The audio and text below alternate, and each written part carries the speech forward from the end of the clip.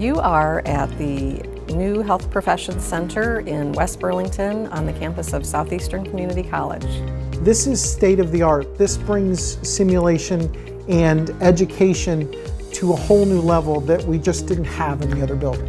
I really like the new building. I think it gives a better opportunity to learn. Everything is right here. I mean, you don't have to go anywhere. The sim lab is amazing. You have everything is real, as real as it can get. We needed something more so when we built this building, we decided that we needed um, program-specific spaces. Within this building, we house several health programs from respiratory care to emergency medical services, nursing, nurse aide, medical assisting and billing and coding, and our newest uh, program, Medical Scribe.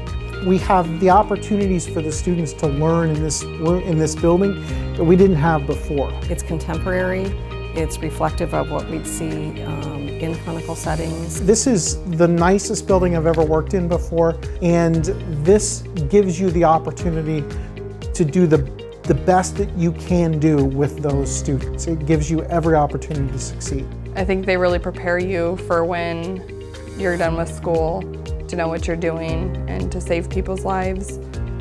For nursing in general, this is where you want to be.